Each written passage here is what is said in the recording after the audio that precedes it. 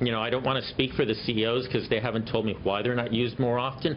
What I can tell you is that every CEO that I have spoken with has made a personal commitment to uh, to pursuing these. Um, the CEOs are excited. I attended a business roundtable uh, event around this, and to a person, the CEOs are looking forward to it because the CEOs need the skilled workforce, and you know, and they recognize Americans want to work.